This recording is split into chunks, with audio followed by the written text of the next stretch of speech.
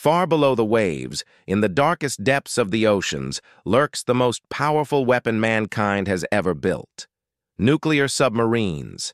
Silent hunters that can vanish beneath the surface for months, unseen and unheard. Unlike any warship above the sea, these giants carry ballistic missiles tipped with nuclear warheads, each one capable of destroying entire cities in a single strike. The United States deploys the mighty Ohio class, carrying up to 24 Trident II missiles with pinpoint accuracy. Russia counters with its Borei class, a new generation designed to patrol silently under the Arctic ice and China's Jin class steadily expands Beijing's nuclear reach, ensuring its voice is heard on the global stage.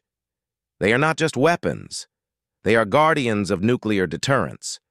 A single submarine can shift the balance of power, forcing enemies to think twice before striking first.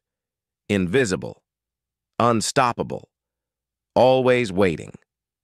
Nuclear submarines are the silent kings of the ocean ruling not with noise or speed, but with fear and certainty. This is the hidden face of modern warfare.